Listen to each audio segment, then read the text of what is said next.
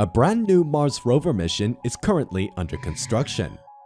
Previous missions helped unveil what might have existed in the Red Planet's ancient past. A world once like Earth. And that's where the Mars 2020 rover mission follows up.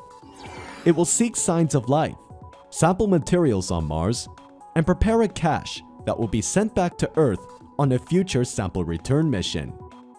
On its descent to Mars, the rover has the technology to target a smaller landing zone. It can also avoid any landing hazards in the area. This enables NASA to land the rover closer to points of high interest. NASA is looking at three potential landing sites, all with one thing in common. They possibly had liquid water once roaming the Martian landscape.